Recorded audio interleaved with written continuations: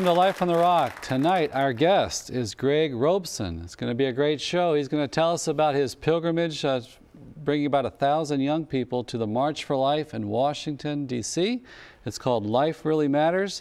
Much more than just a bus ride. There's going to be speakers and uh, preparation work, and then also formation to send these young people back out in the culture after the event to uh, really charge them up to do some good.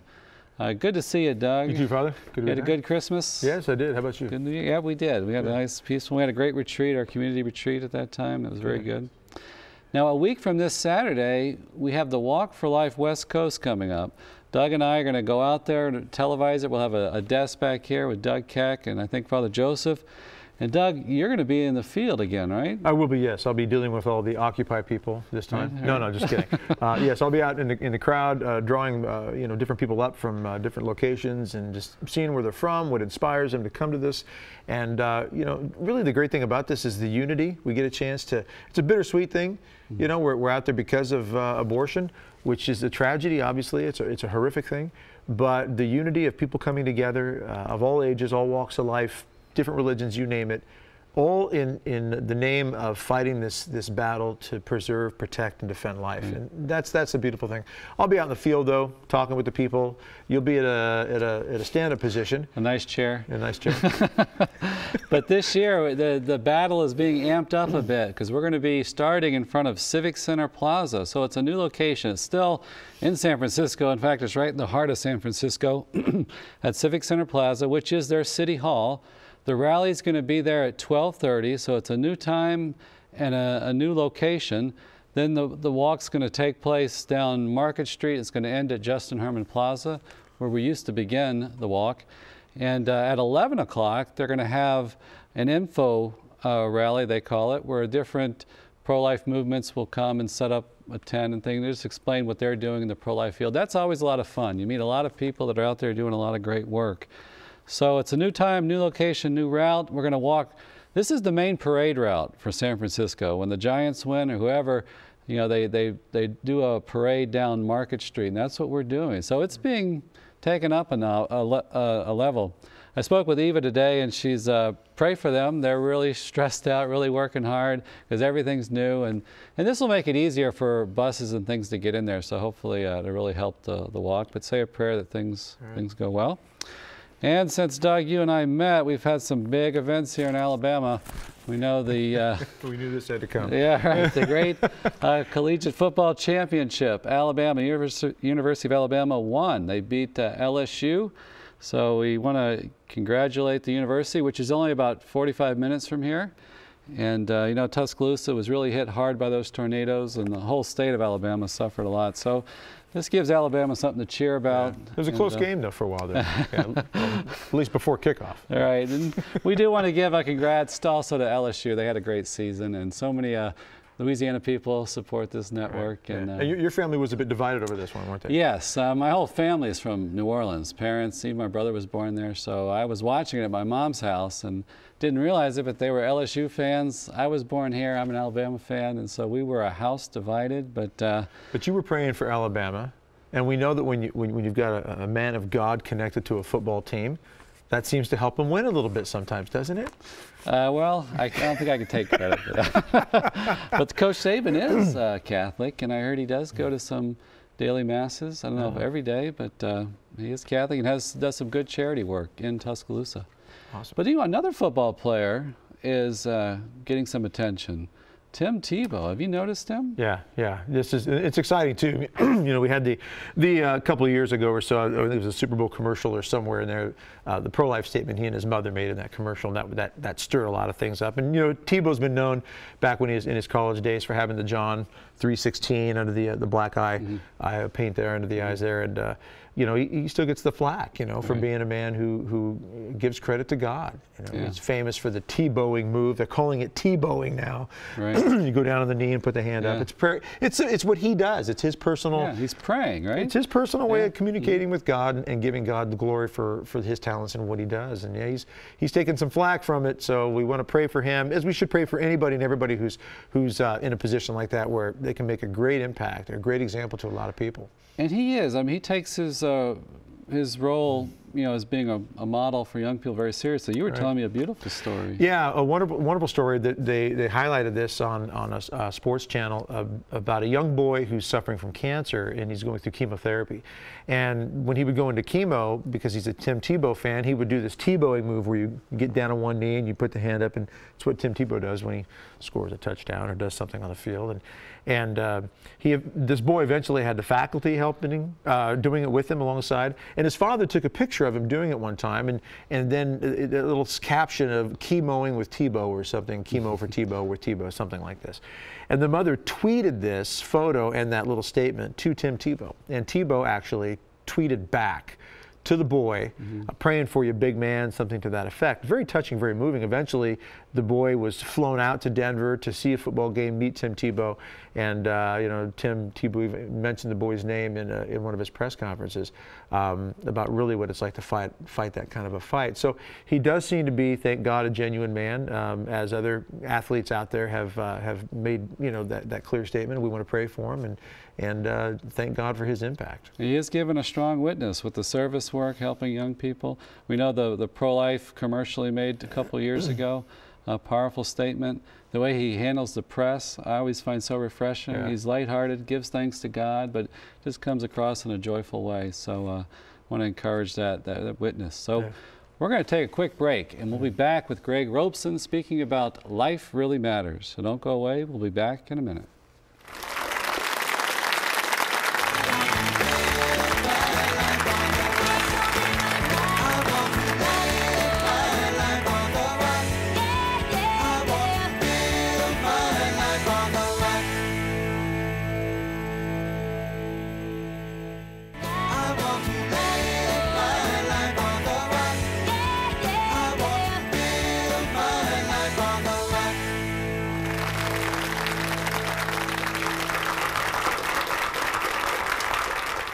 Back to Life on the Rock. We're joined by Greg Robeson. Welcome.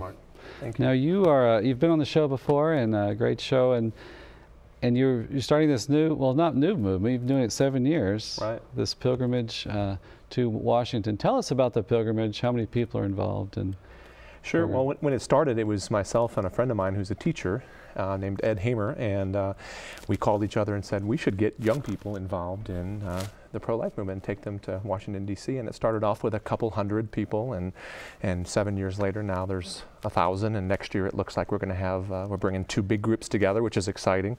1,600 looks like on the books for next year. So, anytime you can mobilize 1,600 teenagers behind something good, right? God must be working, you know. So uh, how many buses is that this year you're taking? Uh, 17 this year, I believe. 17 full buses. and are you like in the lead bus with radio contact with the others?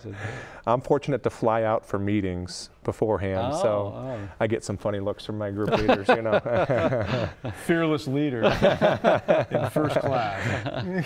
Otherwise, I feel bad for the person sitting in front of me on the bus who has my knees in their back, you know. Um, Well, let's talk about some of the the the adults maybe that are help planning this. There's a big army of people, right? Right. Yeah. I certainly don't do it alone. So there's a bunch of talented youth ministers, campus ministers, and teachers who come together to uh, to make this happen. Which to me is one of the beautiful signs and and and uh, about this program, about this pilgrimage. Um, it's not it's not Lone Ranger. It's a bunch of talented folks who are being paid nothing to come together and say, I want something excellent for teenagers. I want something formative and substantial and lasting. And I'm willing to give up my time and be uncomfortable on a bus and come to meetings and um, and do what it takes to make this happen. So there's a good good chunk of 20 adults who are And it, it really is heroic. Uh, You are a you're a youth director of ministry at a parish, Mhm. and your friend friend Ed is a a teacher, Mhm. right? So, I mean, this is personal sacrifice. You Yeah. guys aren't like rolling in money and just throwing money around. Wow. You're making uh, sacrifices to, to do this. Now you're you're gather you're gathering this group from the St. Louis Archdiocese, right? Correct. And but it's it's unique in that it's not just uh, a big bus ride to Washington. What are some of the things that uh, make it unique? Yeah, it's distinct from uh, a youth conference in, in, the sense that we do a little work beforehand to, to get the kids ready. You know, we, we uh, train and empower our, our, chaperones and teach them about uh, sacrifice and help them to pass that on to, to the young people and, uh, and get them ready so that they're not just amped up and excited about getting on a bus or mm-hmm. spending time in another city. That there's this sense of sacrifice or simplicity or doing without, uh, and that, that, that that sacrifice can be meaningful and can make a difference.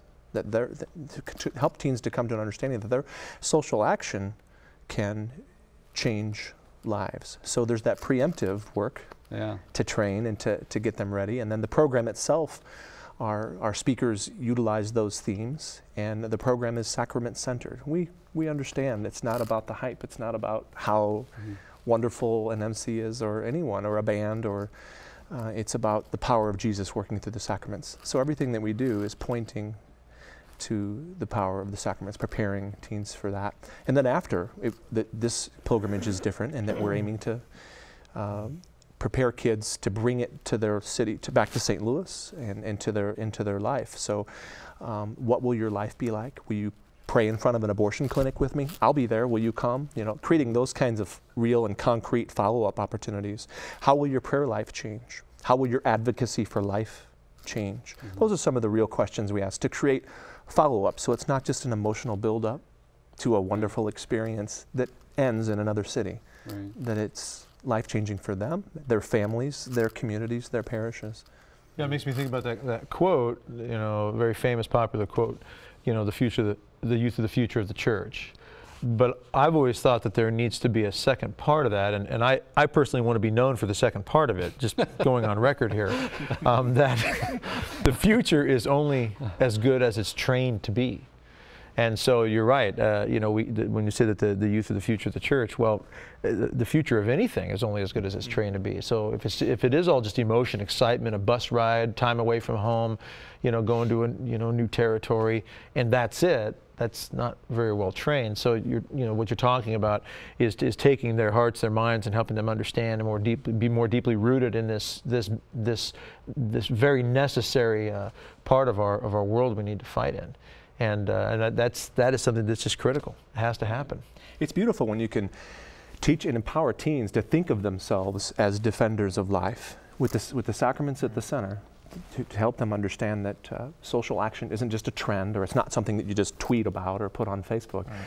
but that it's a part of their identity. It's, it's part of the command from Christ. The, the, the whole weight of the gospel sits on their shoulders. But when they, when they start to see themselves as Christian, as followers of Christ, it's a beautiful thing. And this, this event helps teens to see themselves that yeah, way. Yeah, there's something, there, there really is something to uh, telling someone that you are a fighter, you are a knight, you are a warrior, you are a defender that helps them fight, defend, and get out there and warrior better. Mm-hmm. Uh, it's it's when you've made the team, when you get the jersey, you know, when you're on varsity, for example. It's like, wow, I can walk down the hallway with the with the jersey that everybody's got. I'm part of the team it, it, it, elevates something within your own heart and mind. But like you said, when you're when you're telling young people and, and training them, you know, you are a defender of life. Mm-hmm. It is on your shoulders. Isn't that cool? You're part of something much bigger than yourself. That's that's that's a rush. What kind of reaction do you, do you see from the kids when, when when you get to that point with them and they start to really embrace that? Yeah, there's a there's a click or a, a light goes on, you know, where they,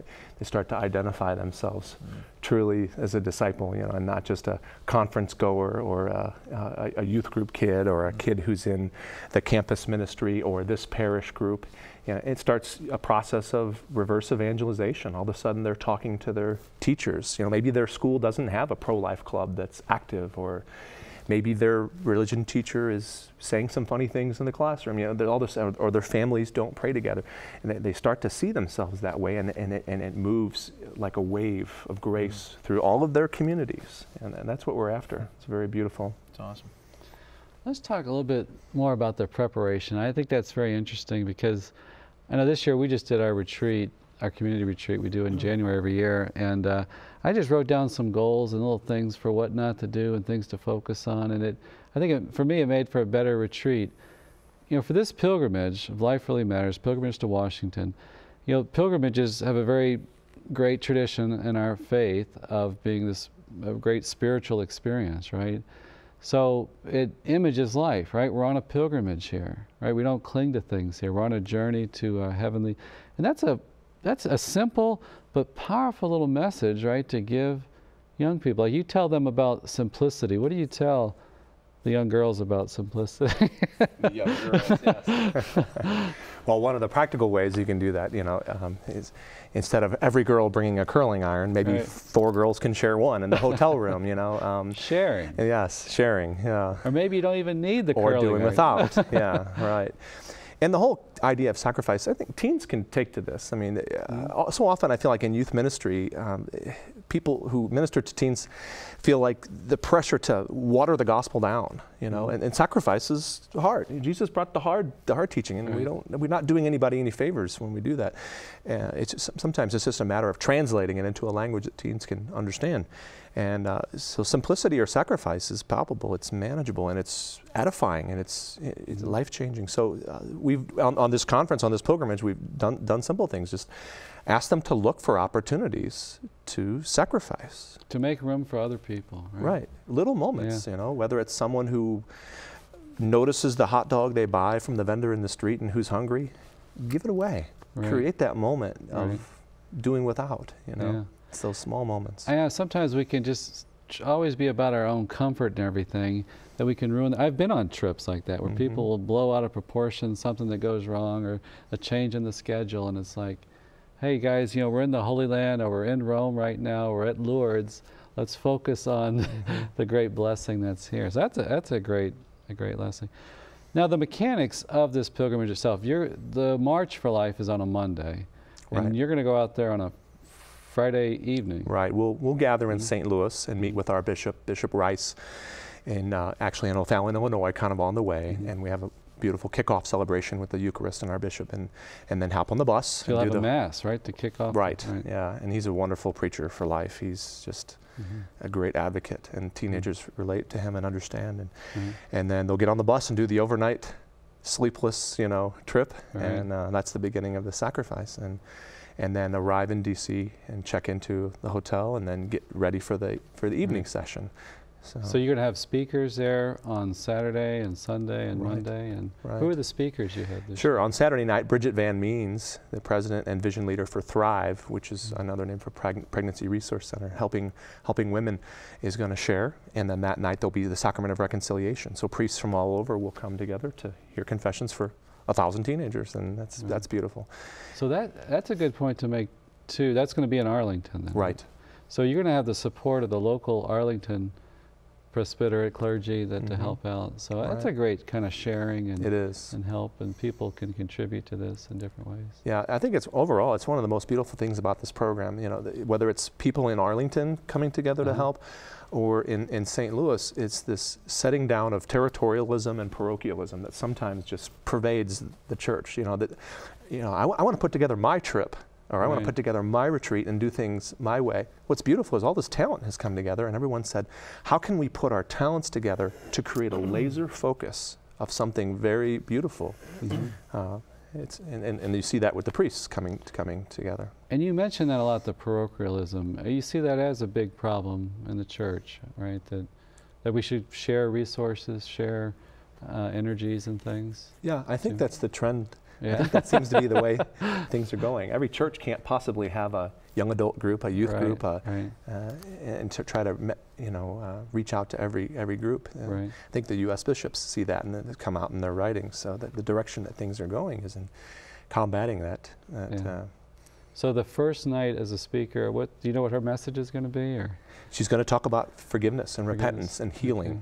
So she'll have, share her own testimony and beautiful story and things that she's been through. I don't want to, you know, steal her thunder, right? but uh, I know her story, and, and she's a beautiful woman, and, and uh, we'll do we'll do a great job. And uh, And they'll have the sacrament of confession right there. Right. So, that, you know, I, I've seen that so often with like Youth 2000 or Mount 2000, or whatever, that uh, you get the kids together, you make the sacraments available, adoration, mass, confession, and just incredible things happen. mhm. I mean, it's just powerful. You can Mhm. see uh, the Holy Spirit working. And so you also have Matt Fradd, right? He's going to be a guest Right. on Life on the Rock coming up. What's uh, Yeah. What's he talking about? Yeah, I, am reminded of him every time I uh, see your opening segment for this show with the uh, Australian kid, I think it is. Mm. Saying, Good day, mate. Because uh, He's you from know, Australia? Yeah, he'll he'll be instantly cool for teenagers, you know, with that accent. So. Yeah. Uh, And he's small like that kid, too. yeah, we, he comes to us through Catholic Answers, and, and he's going to share about how chastity and purity fits into the pro-life message. How does me being uh, chaste and pure, how does that make me a better advocate? To, I think that's a great thing to, to synthesize, you know, to, for teens to see that their personal decisions in private uh, affect their, their identity affect and, and affect the church corporate and, and our work in, in, in as being pro-life advocates. And he's going to put those two together. That's going to be awesome.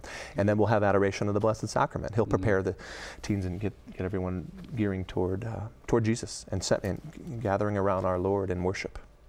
And what I think is so powerful about these things too is some of these kids, it might be the first time that they they see Mhm. Jesus exposed in the monstrance. You have the Blessed Sacrament and Yeah. honored and worshipped in that way. And so that can jumpstart them. You know, they could have a powerful experience here and say, hey, I want to do that some more. Mhm. And so these intense, you kind of break out of your routine, you leave home and you're with these kids and these enthusiastic leader, youth leaders, and uh, you try some new things, right? hmm Yeah. In fact, last year, I, a girl from my group uh, that I brought from my youth group where I work, she came into the trip with a what she would have identified to be a, a pro-choice or attitude, uh, and I, it might have. I, I think she shared about adoration of the Blessed Sacrament, and and one of the speakers, and uh, she came out of the trip having flipped just for, from one trip, you know, and becoming a very uh, strong advocate and, and speaking in a much different way. Mhm. It's beautiful to watch the, you know, Jesus worked like that through the sacraments. Right. I, you know, it's characteristic of these marches, and I guess anytime really you get like Christian fellowship is joy, and that joy is so convicting. I mean, people Mhm. experience World Youth Day. You experience that, and you say, which path in life am I going to take? I'm going to go with the Christians here. I'm going to go with the Mhm. secular culture. Well, we're going to take a quick break, and we'll be back in a minute with Greg Robeson.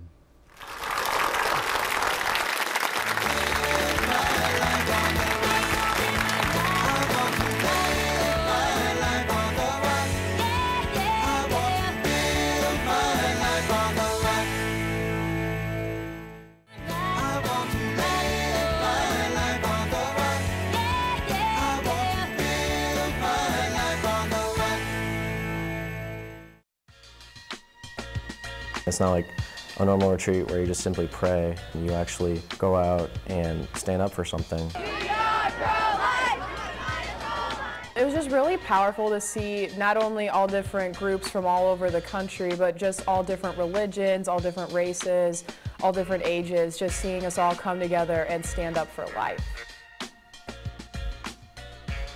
It's not just Catholics there, it's Christian, Presbyterians, it's everyone. And it's just really nice to know that we are a community. We're one in this.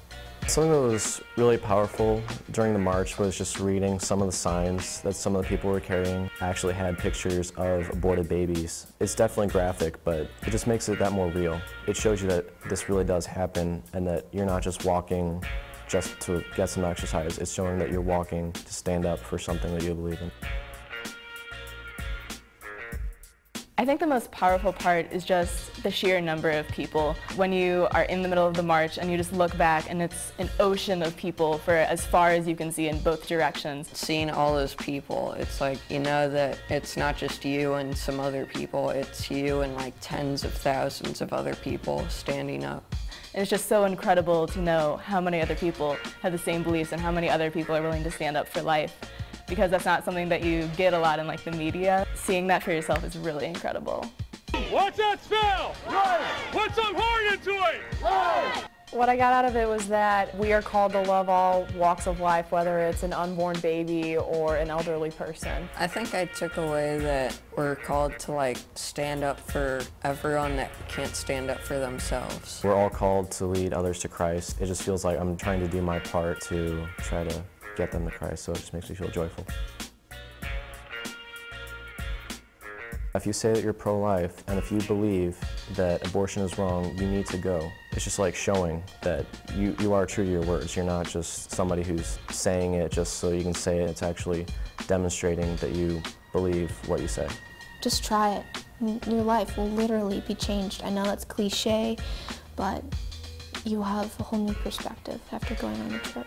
I think it's just such an important thing to do, and since Roe versus Wade hasn't been reversed yet, there's still that need for the march, and I want to be as much a part of that as possible, so I hope to continue going as long as I can.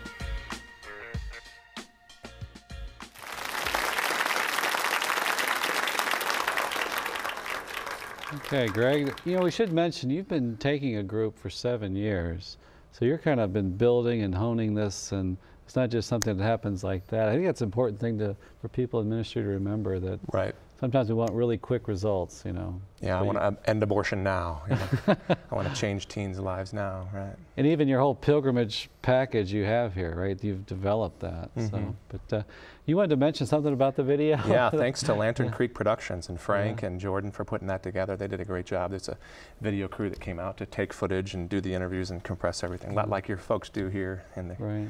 in the network. So, but uh, I don't know if you noticed the painting Mm. that they had in the backdrop that was selected. That was actually part of the program, um, Mhm. and it has been for a couple of years now. Something I kind of just came up with uh, uh, called Pro Life Painter. Uh, Mm. and, uh, um, But it's someone you know personally. it is. Yeah. Yeah. Yeah. And it's my wife, Yeah. Deanna. So. so, hello, Deanna, Emily, Isaac, Elijah. There they are. I see the pictures. Um, yeah, so she uh,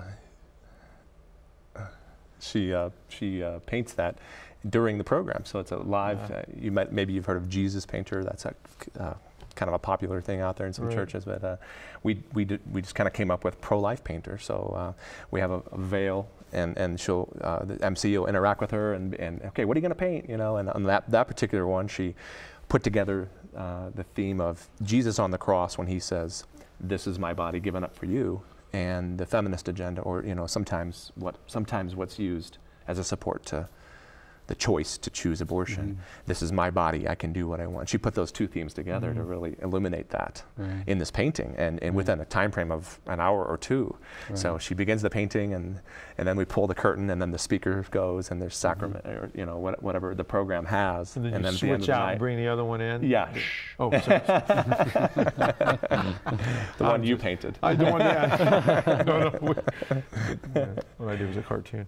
No, but so she's doing it live behind the curtain while Yeah. this is going on. That's pretty incredible stuff. Yeah, it is. And then when you we take the curtain open year after year, it's amazing. You know, kids sit Mm. there all standing on the edge of their seat, taking pictures of the sacred image Yeah. that my wife's given her heart to. And, and then we, the volunteers bring it up on stage. Does she kind of bump the curtain a little bit now and then, so it looks like something's happening? Keep adding to the suspense. I think one year she dropped paint or one of the lights went out or something, and it was quite a, it was quite a scene behind the curtain, you know. Scream now and then. but uh, that's it's beautiful. It's it's neat to see the way kids react and- to art. But see, I was going to say, but that, that's a great hook because you know, and we, we do need to to be creative and and uh, you know, I I never forget um, hearing someone from um, a pro life organization years ago say there's there's a, there's one thing we really need to remember in this type of work is we have to have a sense of humor. And the reason we have to have a sense of humor is we're fighting a pretty dark battle. Right. And it's very easy to get over serious sometimes. And so mm-hmm. while we do need to be very serious at certain points, we do have to have a sense of humor and we have to have a certain vibrancy about us and, and a creativity in, in, in drawing people and engaging people so they can experience things uh, that have to do with this. And that, that's where, I, you know, the description of what your wife does with that painting is very engaging. Because as you describe it, I'm intrigued by it. I'm Mm-hmm. Not even there. Right. And I'm, I'm really drawn in to say, well, I'd, I'd love to see how that you Mm-hmm. know, manifests and unfolds. Yeah, it takes great courage to face the evil of abortion and say, I'm going to stand my ground. I'm not going to be a person who says, well, this will be an evil that'll be defeated in our grandkids' generation. I'm going to stand my ground against this now, and I'm going to give my life to stand up for this. It takes great courage. Yeah. And sometimes in, in that kind of a serious, dramatic moment, you start to take yourself too seriously. It's one of the things I appreciate about the speakers that we've recruited, that they, they get up on stage and the lights and the, you know, and it's being filmed and it's, uh, you know, and teens, you know, think they walk on water, you know, it's, it's a beautiful thing and they have a wonderful message. But what I've experienced is they understand that it's not about them or their books or their CDs, that, that what they're doing is true advocacy, that they're pointing to something else, Right. not their career. And I've really appreciated working with those types of artists in Yeah. this in this event. You know, I, I remember Pope Benedict said one time that you know, sometimes God gives us a nudge, with, and he, that God has a sense of humor, and He gives us a nudge not to take ourselves so Too seriously, seriously, yeah. because you know God is the one in control. He's the one that wins the battle. I mean, we Mhm. show up and do our part, but the victory is His, and it's not all on our shoulders, up to us, so to speak. You know, all up to my abilities or whatever. Well, let's talk about you know you've done this for a number of years, working with young people, taking people to the march. You know, one of the purposes of this show is to encourage young people to go to the March for Life, and it is. It's a very young event. What kind of changes have you seen in people that go, young people that go? Well, they go back to their schools and they start pro-life clubs. They uh, are going back to their families and uh, you know asking fundamental spiritual questions. Right. Um, neat to see a, a teenager stand up to mom or dad Mhm. about abortion. You Mhm. know what what is what, what do you believe, mom Right, or dad? right. Um, back to their parishes. That we'd like to believe that every parish is a haven of pro-life activity, but maybe they've come back and challenged that that there Mhm. too. Um, it's wonderful, and I would love to see, you know, this this Life Really Matters pilgrimage is not an event that we're looking to see grow across the country. You Mhm. know, and, and as we as we work together with our diocesan agencies, we're not looking to make this into a national event. I'd love to see uh, other dioceses, Right, groups of talent come together and right. crop up and, and, and, and you know work together to uh, minister to their teens and create maybe a similar type of a, a pilgrimage to the, And you remind me, before we forget, that you mentioned an auxiliary bishop sends you out, and then Bishop Carlson, the Bishop of St. Louis, or Archbishop, is going to have them a mass for you out there. right.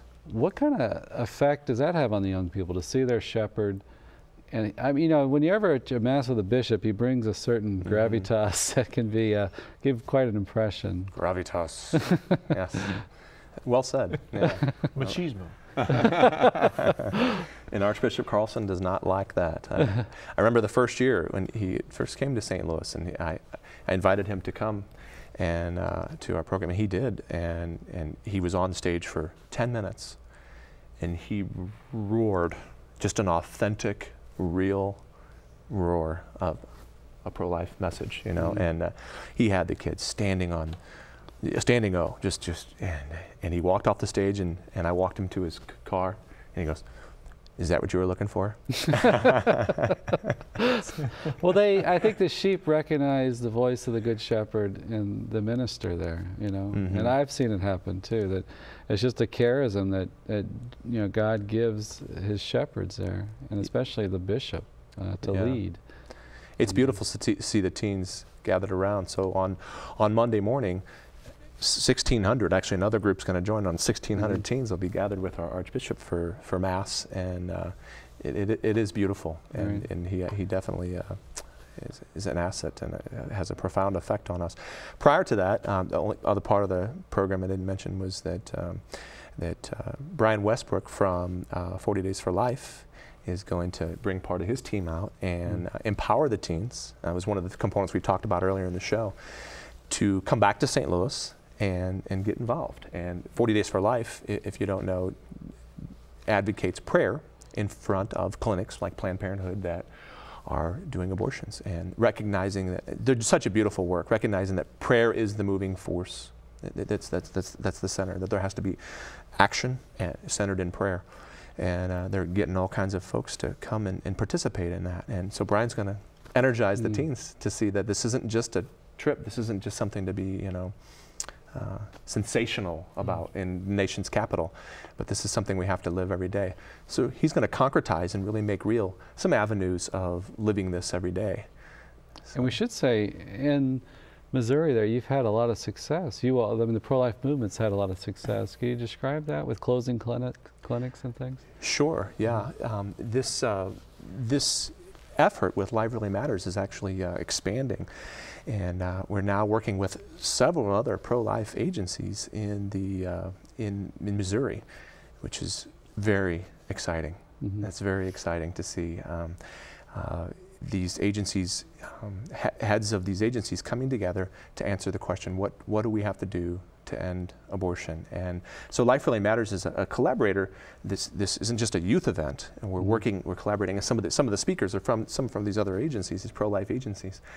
Uh, and so we're coming together, and uh, on, on January 19th, we're going to have the first annual Midwest rally. So we've got San Francisco every year and, and Washington, D.C., and this year we're going to converge on our state's capital and uh, gather our, our pro-life leaders together and, and meet with uh, some politicians and, and um, start to get some, some laser focus uh, with that.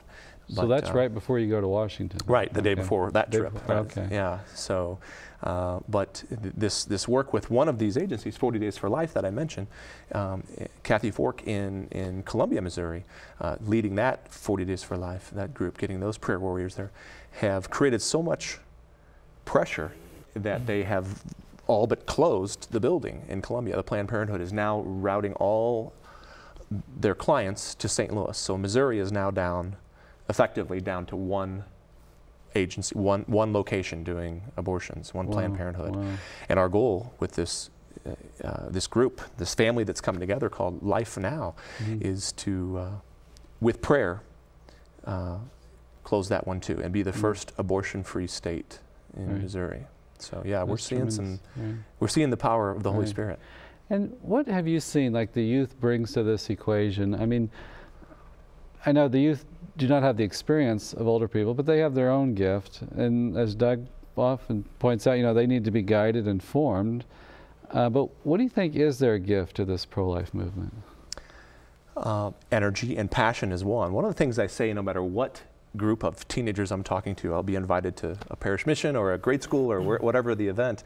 One of the first things I almost always say is, I love being with you guys. I whatever it is, whatever, whether I'm in a sweaty gymnasium or a large youth conference, one of the first things I usually say to them is, I love being with teenagers. Mhm. This is a this is a blessing, and the reason is because you have energy and passion, and when that energy is directed in good and holy ways, you are powerful. And uh, that's one of the, the greatest gifts in, in the whole pro life movement, starting to harness that.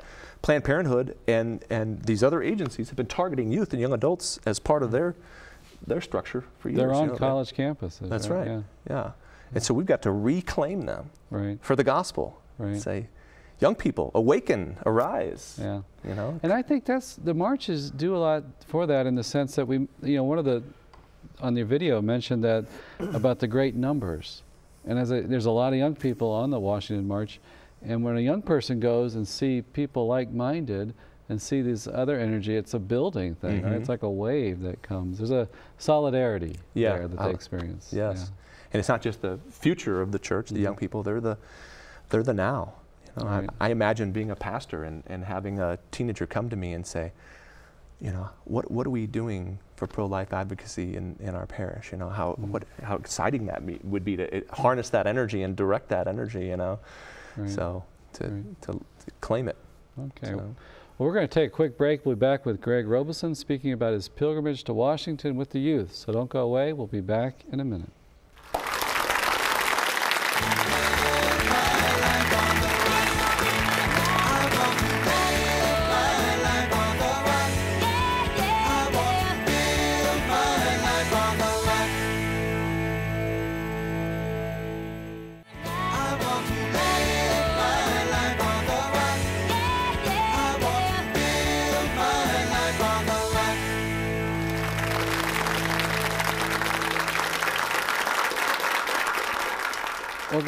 Get back to we didn't quite make it there about the the changes. Maybe you've seen uh, the effect on young people Mhm. that go on a pilgrimage like that. What have you seen? Yeah, thank you. Well, pilgrimage, I, I think, is a, a beautiful word. That that's that sense of sacrifice. I, I've seen and interacted with and planned and helped uh, put together all kinds of different events. But when you look at the profile of maybe a year for a, a teenager, they'll go, go on this type of event and this type of retreat and this uh, experience. Pilgrimage, when it's a trip like this, cuts it cuts deeper when they have the opportunity to, to make those sacrifices we were talking about, to see that they belong to a bigger church than what they see at their parish, to see, you know, with the Washington D.C. trip, to see tens of thousands or just a sea of people. People. That's so often you hear that those types of stories. Kids come back and they say, "Mom, Dad, I, there was people as far as I could see." you know. Uh, or we, we spoke about the the mass the night before for young people at the Immaculate, the Shrine of the Immaculate Conception. Mm -hmm. I've been like a priest at that, and you, you know, you walk down the the main aisle there, and it's almost sometimes you got to turn just to fit. Mm-hmm. There's so many people filling up that huge church right. that who can see that not be moved? You know? Right.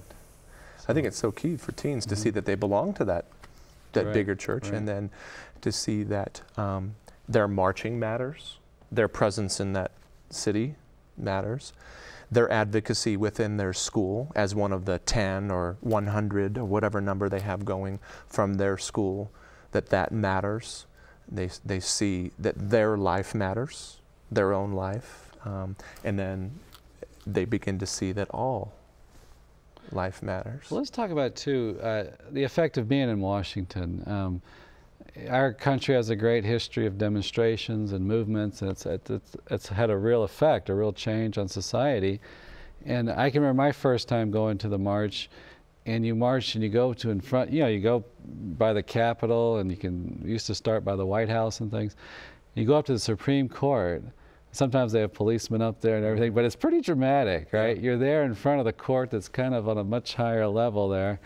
And you're there saying, you know, we want to defend life. Mm -hmm. What is that for young people? Maybe it's the first time they've been to Washington. Yeah, and you look up and you see the snipers with yeah. the rifles, and you know, yeah. it's a you're right. It is dramatic, yeah. um, and it can be an abrupt end too. You know, mm -hmm. it can mm-hmm. have this feeling. You get to that, get to those courthouse steps where so many decisions are made, and and right. this feeling of what now? Right. You know, what what now? But I think that's good for teens to see that that action has mm -hmm. an end, and now this experience, which has abruptly ended at these steps, mm -hmm. has got to be translated into their own lives. Right. Very soon, we're going to get on buses and go back home. It's kind of, it is kind of a dramatic ending, mm-hmm. uh, but it's it's supposed to be a bridge. Right. You know, those steps up the courthouse are supposed to be a bridge into their life. Well, all the judges, all the politicians were all teenagers. That's At right. one point, they were in those shoes. They, they're you know, starry-eyed about the idea of Washington and, and, and laws that affect and impact so many, so many lives, uh, born and unborn. And uh, look at them now, up there in their suits and ties mm -hmm. and, mm-hmm. and, power briefcases and power lunches, making uh, making decisions that are, um, you know, so enormous mm -hmm. that these teenagers got to look at that and hopefully think, you know, where, where am I going to make the decisions or what am I going to do that's going to impact on this scale? Because so much can be said about experience, can it? I mean, mm -hmm. it's one thing to hear about something, which is, which is good. But when you're in the, in the, in the throes of it and you're, you're experiencing and, you know, the elbows are thrown mm -hmm. around under that basket as you're going for that, you know, that, that rebound, I mean, you're feeling – uh, everything there. That that's that's big, isn't it? Right. Yeah. Yeah. To actually experience something mm -hmm. like mm-hmm. that. Yeah, it is. And uh, sometimes teens can't put their finger on it. You know, they, will they'll, they'll share, "My life is different, but I'm not sure how just yet." Mm. That was awesome. You know, it's got to be the most overused word in youth ministry. That was awesome. But then, as you walk with them in their journey toward Christ, mm. that pilgrimage, this this starts to take root and they're processing all these things, whether it's a politician that they heard, whether it was the actual experience or the emotion of being in that, you know, that sea of people, or being in a mass with their archbishop with 1,600 other teenagers, or a particular private sacramental moment or a quiet moment of prayer. You know, whatever the moment was, the Spirit is grabbing them and and and it's it's it's it's beautiful to walk with them in that in that journey. So now you've said you want lasting ripples, right? And you do a follow up when you mm -hmm. come home. What are some of the things you do uh, with the young people to help them process this experience and everything? Right. Um, well, it, myself in, in our own youth group, what we'll, we have testimony and, and times, and we actually have that worked into the trip on the way back. So we encourage all the kids to get up and share what struck you how did you hear the Holy Spirit on this trip? And what we do they normally them. say for something like oh, that? Oh, you hear the whole gamut. You know, you hear the whole the whole gamut. Um, so we've heard the dramatic, yeah. I, I, you know, teary-eyed. Uh-huh. Um, I came into this trip, you know, thinking this was all about women's rights, and I was going to tear this. You know, you know, you guys had it all wrong. You know, I, mean, I, I came into this thinking you guys were crazy, and uh, and and now my heart is melted, right. and uh, I see that there's something bigger going on here. So you hear those dramatic Mhm. stories, all the way to uh, just what I just shared. You know that uh, my life is different, uh, Mhm. but I'm not sure how. So Right. it's beautiful to see how God grabs the kids in all the, in the diversity of different ways, and then they take those stories back to their communities, and that's often the first step. They go back to their school, and, and, and these all these different group leaders that come together in such a beautiful way can create opportunities for testimony. So kids get up in front of their parish and they say, Mm-hmm. "Thank you for all the fundraising. Thank you for all your support and helping us get there because it's an expensive trip." These are some of the things that we that we saw. These are some of the things, life-changing things that I experienced, um, and they'll, they'll take it to their school the same way. And then we mentioned back to their families. You know, Mhm. That's a beautiful thing to see. You know, Mhm. so you see new pro-life clubs popping up, parishes, little ripples in the parishes, all that all that zeal and energy, and in the families. You know, the Mhm. domestic church. That's that's where it's at. So. Right. Yeah, I remember we had a guest on the show one time that, you know, he had a kind of he almost he had this accident and it made him think about his life and then his mother was real involved in the pro-life movement and he was having this kind of conversion to God and he jumped into the pro-life movement. He just wanted to get closer to God and that was the vehicle that grew into a greater devotional life, sacramental life and everything. But it, it is amazing how you, one of the young people said it, how it, you attract all different kinds of people. You know, even sometimes non-believers, you know, will be Mhm. pro-life, and how it can be this great unifying, um, you know, service of truth or trying Yeah. to get justice here. That, that can be beautiful too for a teenager to be marching next Right. to a Protestant or next to a Muslim or next to an atheist who's pro-life, you know, uh, because natural law, you know, or uh, uh, and, and that, that they see that that this is bigger, you know. Right. They- they- wow, this isn't just a Catholic thing, right. you know, or, or or or the Catholic Church isn't just in St. Louis, or you know. Um, right. I, I can remember one year, I'd probably still do it, but they had the, the Orthodox monks singing their chant in their liturgical language, whatever it was, and, you know, with the different vestments they wear and everything. And I was like, you know, that's not something you see every day, you know, but Mhm. at the Washington March, you just see every facet of the church. You hear testimonies, right, of maybe Mhm. post-abortive women Mhm. healing, post-abortive fathers. Uh, yes, so there's a lot of information being imparted to the young people right. too. So you want to you want to take the young people they've been charged up, had this experience, translate it into some action activity, some form of bearing witness, hmm right.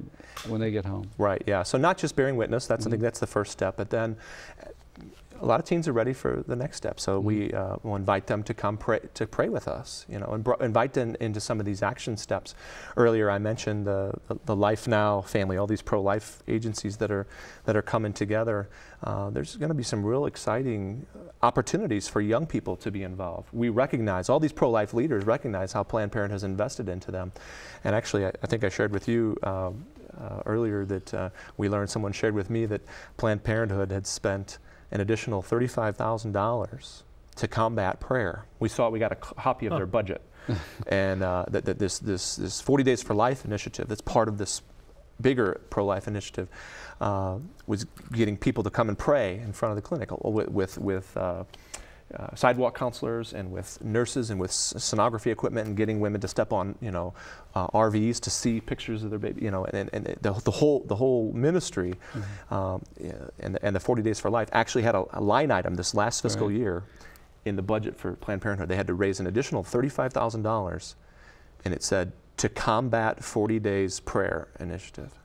Well, prayer is such a problem in this country. You know, we just have far too many people. Too many people praying. Yeah, yeah. Everybody's sore on their knees. Yeah. Well, tell us, is there a website for your uh, for your pilgrimage? And, Yeah. People can check out more info about this year's pilgrimage. Uh, the video that we saw on the show is up there too, in case they want to share it with somebody else. Some good teen testimony, and that's lifereallymatters.com. And then uh, another uh, agency that's working with us is Monk Rock. Um, they handle like all our merchandise and uh, you know f- sometimes follow through. The first part of follow through is just putting something about pro-life or, or Catholic identity in a teenager's hands. You know, here's a St. Benedict medal. Here's a rosary. You know, you could pray this for babies every day. You can pray this. You know, they again? Monk Rock? Yes, yeah. Monk Rock is the name of an apostolate in, in uh, St. Louis, which is uh, beautiful. They're doing great stuff. But uh, um, so you can go to monkrock.com, and they have a link to our website and to EWTN's website. Uh, but uh, they're they're putting things in teenagers' hands, whether it's a T-shirt, you know, to, to, to get them thinking differently, or something to help them be devotional, um, to pray differently. Uh, so we're grateful to Monk Rock for, for their work and advocacy with our with our program. But yeah, you can go to lifereallymatters.com to learn more info about about this and year. hopefully other dioceses might imitate your model here, what you're doing. I think that would be beautiful. Yeah. Yeah. Though I th- I've heard things about other you know dioceses doing doing things, and uh, um, that that would be uh, that would make my day. That would be that would just be awesome. You know. And you know, I love the themes we've hit tonight. That you know, what what a pilgrimage like this can, how it can teach and form young people. Obviously, the good itself of being there for the cause for life, but to teach them about solidarity, you know, standing up for truth. You know, we hear so often our Holy Father speaking against the relativism of these times. That uh, you know, the truth, the dignity of the human person. You know, we can't use or just throw away human life. It should be respected. And uh, to stand up for that that you know that it's possible you can have an effect in this culture right? We go and, and march on washington you know the most powerful country on earth and we make this statement. That's teaching young people to you know hey do something with your life right? For a cause a cause for good and uh, and the solidarity aspect you know I, I think that is such a tool of the devil that he wants to and that's an effective sin that he wants to separate us divide us you know, if we're bonded together as a people, as a church, we can really walk through anything, I think, and, and overcome anything. What a, a, great message for our young people. What, maybe these last few minutes, what is your hopes this year? What do you really hope these young people will get on this trip? Well, the, the critical point of by which we evaluate this pilgrimage every year is what lasting change is created, which is a theme Yeah. we've talked about uh, a couple times. So when a teen comes up to me, I, I say it's a success when a teen or, or even a chaperone or anyone comes up to me and says, you know, like this happened a couple years ago. They were listening to a story from Abby Johnson, who used to work in the Planned Parenthood clinic, and she was sharing her testimony about how she had she was holding the sonogram equipment on their their clients uh, to, so they could be more efficient at killing babies. And uh, her arm got sore from eight-hour shift of holding this piece of equipment. And and and um, the next day she was in at church where she goes. And if your arm causes you to sin, cut it off. And she was feeling the pain, you know. And Wow. this teen listened to this story about how Abby's personal uh, sin, you know, and personal her personal ch- choices uh, were yeah, visible to God. Were were um, it was, it was Abby shared as if it was a personal message to God. And this teen came up to me and said, when I, when Abby was speaking, it was as if I could hear God saying the same thing to me. So when they translate something from a speaker or a part of the program into their own life, and they say they say to me, my life is now going to be different. You know, Right. is that, that gut wrenching moment. You know, Yeah. somebody says, "Hey, great job planning that." You know, that oh wow, that was cool. Those are good to hear. Yeah, You know, yeah. uh, but when a kid walks up to you and says, "My life's going to be different," Right. thank you. You know, that, that, you recognize that moment. You know, and, and then you want to carry that and you say, "Okay, well, how?" You know, let's, Mhm. what, how? You know, but um, so that's the measure of success for us is is um, that that there that, that there is follow through. So Right. it's an important part of our program on Monday uh, when we're when we're saying, okay, we're heading back to St. Louis. These are the ways that uh, you guys can be involved. And you'll be on the bus on the way back? on that speaker? More meetings. Well, thank you so much for, for joining us, and that's been a, a great show. And I think that's a, a great theme to end with is that, you know, the mission, the call that we all have to affect a change renews us, renews our Christian vocation, renews the church. So I want to encourage our young people to go to that march. Uh, if you're in, in California, go to the marches out there. On the East Coast, go to, to Washington. And now we've got a new one in St. Louis. That's right. so January 19th in Jefferson City. January 19th, Jefferson City. So, well, the Lord be with you. And also with you. May our Heavenly Father shine His face upon you and give you His peace. And may Almighty God bless you, the Father, Son, and the Holy Spirit. Amen. We'll see you next week.